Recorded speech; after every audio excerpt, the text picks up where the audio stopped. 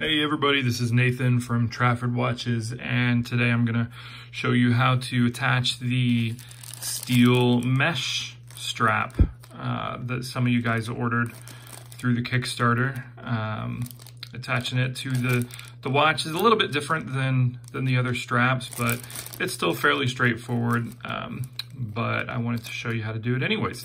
So your strap, uh, excuse me, your watch is gonna come on a leather strap. Uh, you take it off, you just have the quick release pins. Just pull down on that on both sides to take that off. Very easy. Um, and then to attach the steel mesh band, well, let's take a look at it first. Um, the steel mesh band is not quick release, uh, uses standard 22, or excuse me, 20 millimeter uh, pins. Uh, you, that'll come with your watch in the, one of these little bags. You'll have a separate bag with quick release ones that are for the nylon strap that comes with the watch. So take these out of there uh, and set those aside for now. Let's take a look at the strap. This is exactly how you'll get it uh, as well in this bag. I set it to the shortest size uh, when I send it just so it fits better in the box. Um, but this is two pieces. Uh, you take it apart, you uh, undo the strap by pulling up on this lever here, and then you pull up on the next lever in there. And then it comes right off. So two pieces for the band. You can adjust the size while it's on the watch, or you can do it uh, while it's off. Uh, I'll go ahead and put it on uh, just so we can see how to do it that way. Um, this is the top piece uh, with the, the, the, smooth buckle.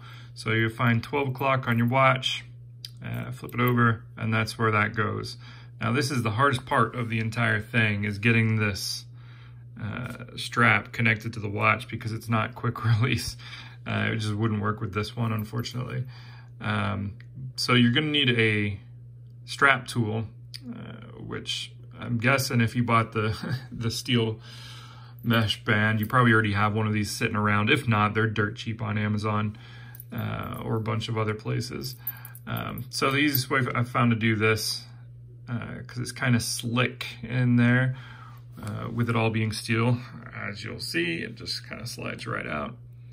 Uh, so get it in there and then just get it into one of the sides. I like to do the further one like that. And then this is gonna be hard to see on the camera, uh, but take your quick release, or take your, uh, your strap tool and just grab one of those ends. I'm gonna try not to flick this thing across the room and snaps right in. First time. Let's see if I get lucky on the next one too. Uh, so make sure you have the back of the strap like that. Uh, you'll see the stainless steel on the back there. Grab your other pin, put it into the strap, and then get one side into one of the lugs, and then take your strap tool and, oop, there we go. Take your strap tool and grab the other side and push that into the other pin. There we go. And we're attached. Awesome. Looks pretty cool. So you're gonna wanna size this thing. Um, like I said, I put it to the smallest size to uh, make it fit well in the box. So obviously this is not gonna fit on my wrist right now. So if you wanna adjust the size, yeah, not even close.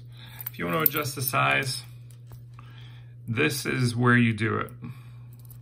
You have this side uh, with the, the, the little guy that flips over. And there's this other little area in here as well. You have the bar here, and that's what the other side connects to. I'll show you that in a second. Um, but uh, right next to that bar, you have another little flap type of deal. And you can use whatever you want, a screwdriver, uh, your watch strap tool works just as well here. Um, but just to get a little leverage, you can stick it underneath. You'll see that hole under here. You can stick it underneath there and kind of push against. I don't like to push against the middle of this bar because it can bend it, uh, but I like to push against sort of in the corner. You can see that flap just raising up.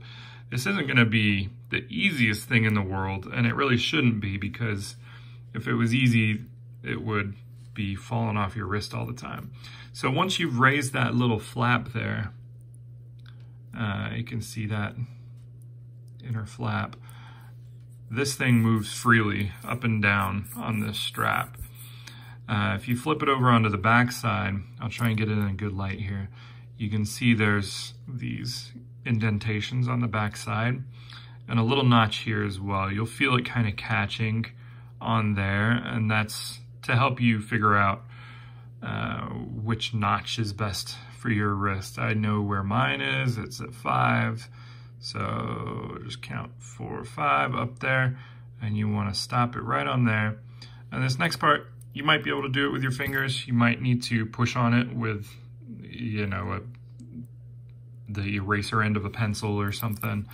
Um, just a blunt object to push down on that flap. You get it in place and then you push down on that little flap and it will click right into place. There you go. You'll hear it snap and now it's locked, not going anywhere. Uh, so that should be uh, where you wanted to put it. So let's try it. You put it on your wrist and then to connect it, I'll try to do this where you can see it in the camera. Uh, remember that bar right there that you're gonna connect to? I'll show you this side actually. This is the other side, the buckle side. You have this big main cover part and then on the inside of there, there's this little catcher thing and that catches onto that bar we've been looking at. So when you put on the watch, uh, you flip it over and you'll see the bar sitting right there and you just want to catch the inside of that flap down there onto that bar first like that and then you just push down on that one and then bring over the safety and you're done.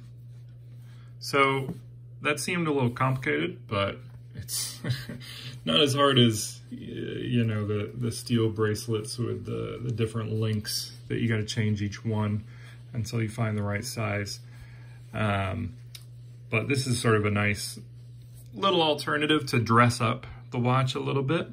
Uh, I think it looks great. It's got sort of a metal tire tread almost feel to it that keeps it sporty but dresses it up a little bit. Uh, uh, so that's pretty cool. It comes in black as well if you uh, if you got a black watch, black case watch, uh, and ordered the, the black mesh that will match pretty well. All right, I hope that helped. Thanks, guys.